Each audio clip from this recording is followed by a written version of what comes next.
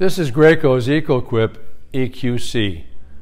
This is the unit that formed the basis for the EcoQuip 400T trailer mounted unit that's no longer being manufactured by Graco, as well as the unit that is mounted within a crash frame designated EQS.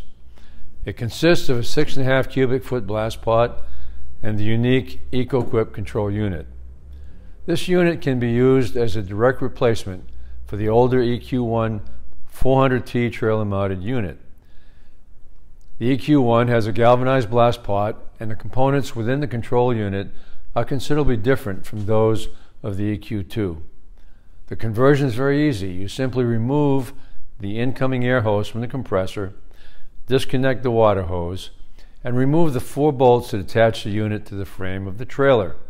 The new unit is then reattached in the same manner. This conversion will provide all of the advantages of the EQ2 system and greatly extend the life of the unit. The EQC is also the basis for our new EcoAir 400C trailer package. This unit is fully integrated with the Airman 400 CFM compressor on a steel double axle trailer with an added 100 gallon water tank, a hose reel, and a toolbox. For those of you familiar with the EcoQuip 2 system, you may notice something different with this particular system.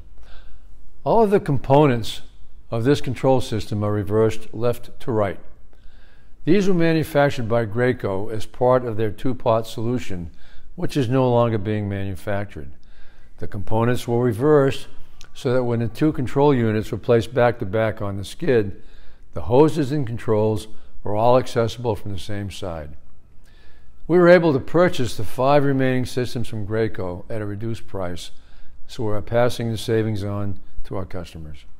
So whether you want this system to upgrade your older EQ400T to an EQ2 system, if you want to use it on a new EcoAir trailer package, or even placed on a skid mount as an EQS, you can save thousands of dollars on one of these remaining five systems. Please contact us to discuss your requirements. Thank you.